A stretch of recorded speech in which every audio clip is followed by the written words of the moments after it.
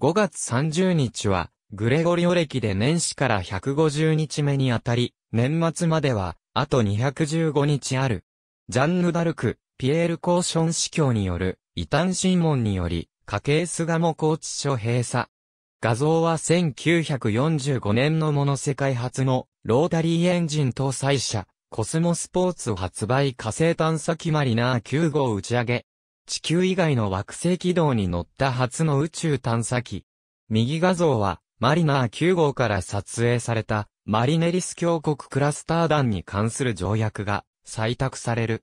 画像は、禁止を求める、クラスター爆弾被害者思想家、ミハイル・バクーニン誕生。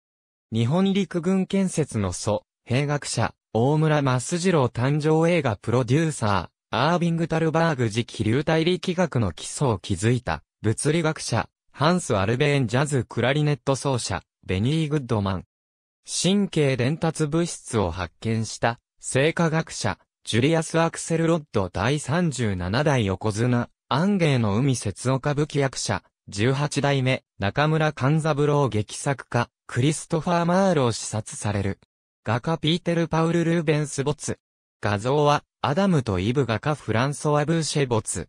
画像は、水浴のディアナ文人画家、池大雅没。左画像は、超弁図、右は、老角山水図啓蒙主義哲学者、ボルテール没。大国王ラーマ七世没。ドミニカ共和国のラファエル・トルヒーヨ没。消費者の日。画像は、ゲーム機を買うために並ぶ人々カナリア諸島の日。画像は、低デッサン。ありがとうございます。